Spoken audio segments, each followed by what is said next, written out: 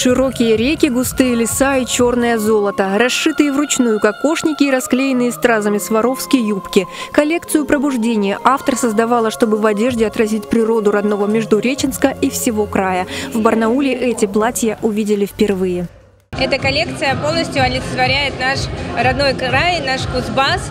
А, в нашем крае есть а, бесконечная тайга, густая, непроходимая, да, и вот это платье олицетворяет именно тайгу.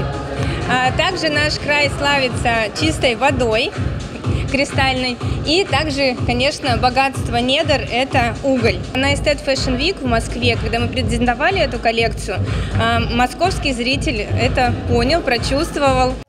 Вместе с платьями почти 40 дизайнеров привезли своих моделей, по меркам которых и шили наряды. У меня опыт модели 5 лет уже. Я была ну, достаточно раз на показах.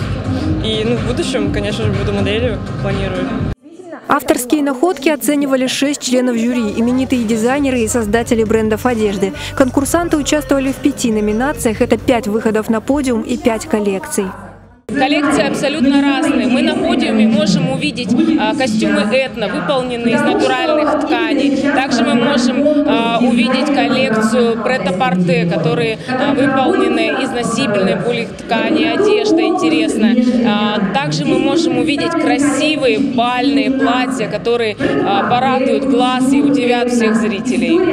Кроме разнообразных женских, на подиуме представили подростковые и детские коллекции, а также одежду в военной стилистике. И если жюри выбирало лучшего по строгим критериям, то зрители просто наслаждались эстетикой показа.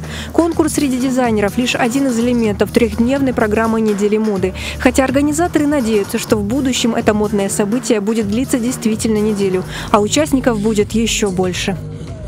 Дарья Ирошина, Алексей Фризин. День с толком.